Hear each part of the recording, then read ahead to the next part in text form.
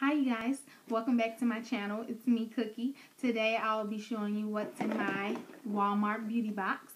Um, as you know, Walmart has a beauty box that goes out once every season. So summer, spring, and, and fall.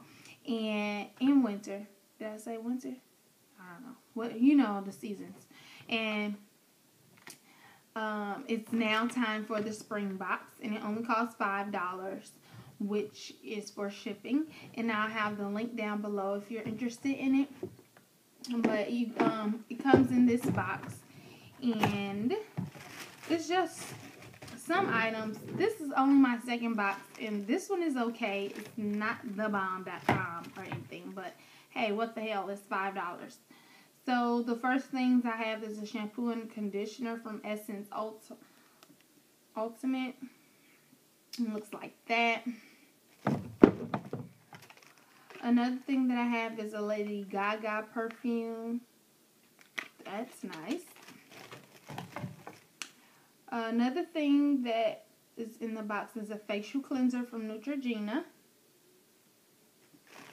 Oh, I'm excited about this.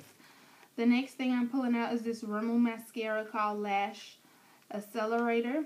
I've been hearing really good things about this mascara. So this is a good purchase. Well, good thing in some box. And the last thing I see is a Dove little body wash. This is nice to put in your travel bag or put in a little bag for someone else. And the rest of these things are like little samples of stuff.